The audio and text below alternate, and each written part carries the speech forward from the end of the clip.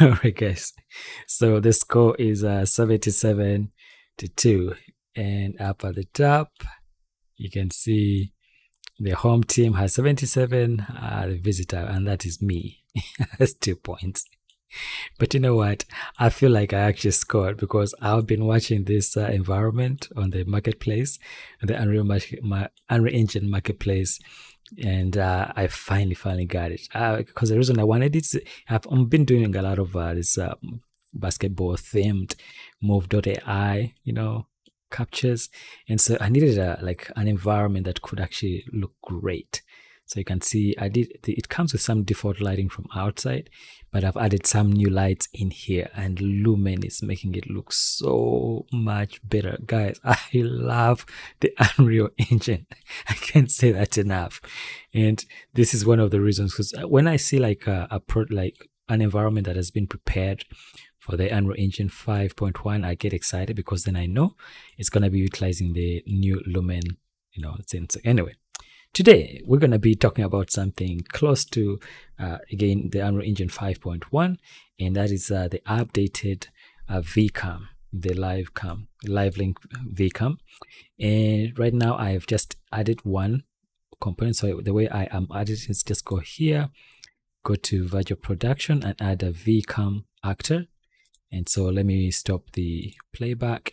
So this is the VCAM actor right here and I'm going to use my iPhone 10 to drive this cam. So they've updated the app itself. So when I went to the App Store, I noticed that there was a new update.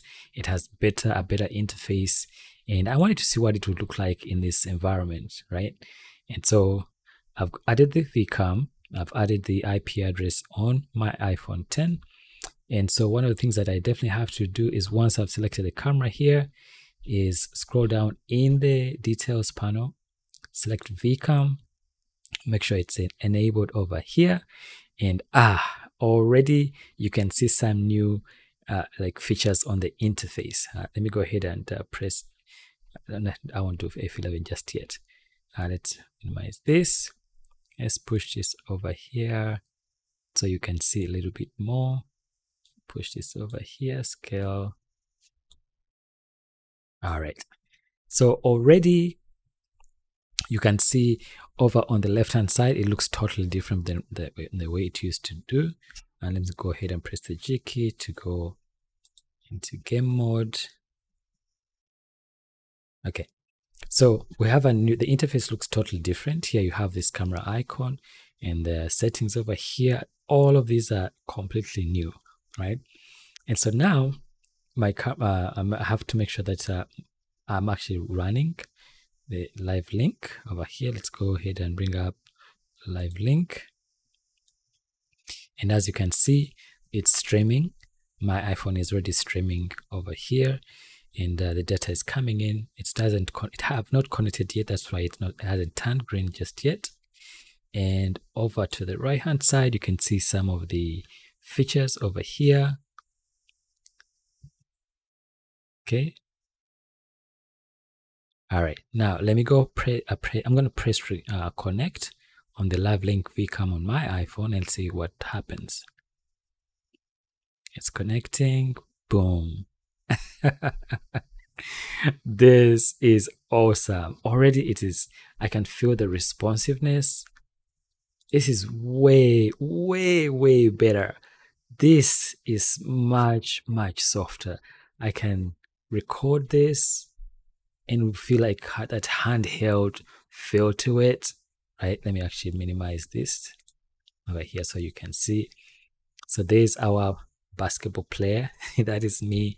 I captured that at a rec center in a racquetball environment but i imagine i try to imagine myself shooting baskets over there okay? So let's go ahead and play the sequence over here and ah i can actually do that and actually go in and out, track the character, watch as the shot is, then it's gonna boom, ah, oh, oh, he lost the ball. But it's gonna wait until he gets back, goes into his T pose. I wanna see if I can like track the ball going that way. So this is amazing. Us being able to do this, right? And let me go actually, I'm going to stand up briefly and then I might go silent for a quick. Just wait. Let me go stand up.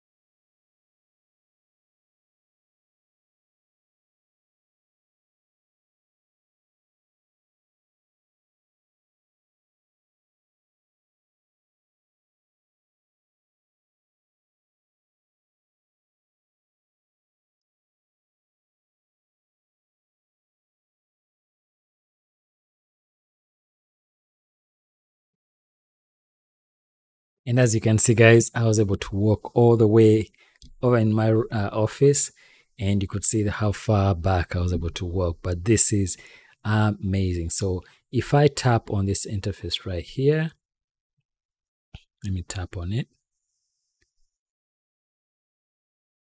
So you can see uh, some, you know, items of new items have shown up. So let's click on the camera itself in there. So now we can control the different, uh, you know, types of like super FM and you can, I can go like a do a tie shot on him like this, which is really cool. And it's very stable. I'm using my iPhone, but I feel like I'm holding like a camera nicely. So we can see our character there. Let me see if I can go to the basket. So over there, What's the score? it's still 77 to 2. I need to do better as a visitor, right? So let's choose another option that's 16 millimeter over there. Let's go to 35 millimeter.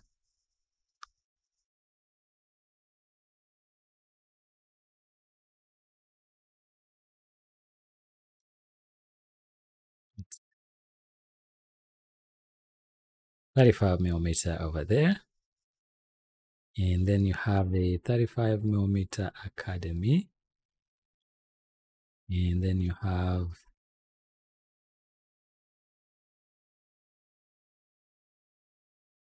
and then we have full frame and let's see we have 70 millimeter look at that all right. And then we have uh, APS-C that wouldn't be let's do the full frame DSLR and then you have the micro thirds micro four thirds so cool. And I can just look all the way around looks beautiful. Lumen is looking making this look really, really, really good. It looks so realistic. That's why I love the Unreal Engine and especially Unreal Engine 5.1. I highly, highly, highly recommend it, guys. Right? So let's try something else also. ISO. So you can control the ISO over here. that is a hundred Let's go 400, 1600, all to 3200. So if we go back to automatic exposure, which is right there, which is what we had. That's pretty cool. And then on this side, you can also have some more controls to adjust the exposure itself. That is awesome. All right, what else do we have? So we have the near clip and far clip over here, and you can also control that on that side. And then we can go down here. You can do a mask. Then we go to the settings on this side. So this is for, again, axis control. That's amazing. It's a joystick you can adjust these features over here control over on the inside. You can control on this side as well. And let's try you can also bookmark if you want. And then go to over here. Oh my goodness that sets us to the zero back to zero. Uh, so that is like below the ground which is not ideal really because i wanna i need to go back to where we are. So overall guys uh, again today i was just walking through the vcam let me go ahead and disconnect that part and how it makes it makes it so much easier for us to control you know the camera camera settings and also be able to record a session that you have in here. And i was using this set uh, this uh, basketball gym session that i did. And i am super happy about it. Super happy. So i guys if you really want to try it out just uh again download the unreal engine 5.1 it's free for you to try out. And all these features the new live link vcam uh, all package you don't have to pay for that. It's all free on the uh, app store. And go ahead and try it. For me i i just love it that's it so let me go ahead uh, again i'm just going to walk you through again real quick how i was able to do this um it's going to be a new cam so you go over to the menu over here, go to virtual production, add a VCAM, and then place it where you want it to be.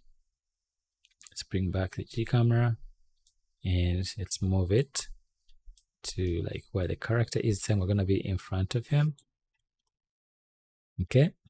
And then when you, when you're ready, go to the details over here, select the VCAM, uh, make sure it is enabled like that and we're going to press the G key. Let's click in the in interface, press G key to get rid of some of those things. And then when once you're ready, just press connect on your iPhone, your iPad. And once it's ready, it's going to connect. And then you'll be able to track your player. What? Dribble, dribble, dribble, dribble, air dribble, and shoot. And then we trace the ball, making it all the way to the basket. Right?